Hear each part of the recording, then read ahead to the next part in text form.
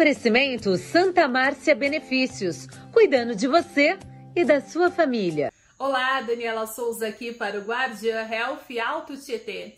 E a Prefeitura de Ferraz de Vasconcelos informa que três novas medidas na área da saúde entram em vigor, buscando aprimorar o atendimento à população e ampliar a oferta de serviços.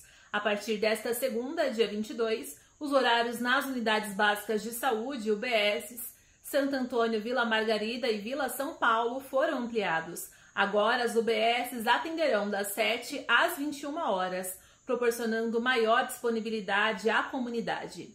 Atualmente, duas unidades CSI no centro e CDHU no Parque São Francisco já operam com horários estendidos. Além disso, o agendamento online de consultas está disponível a partir desta segunda pelo Portal da Saúde no site da Prefeitura. O sistema, que antes beneficiava públicos específicos, como pacientes com mais de 50 anos e gestantes, agora está disponível para toda a população residente no município.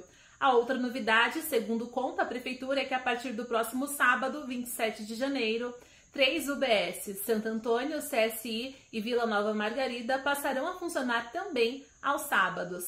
Este, neste dia, as unidades terão demanda livre, permitindo a consulta mesmo para residentes fora da área de abrangência. Oferecimento Santa Márcia Benefícios. Nós somos a maior rádio digital com jornalismo regional do estado de São Paulo.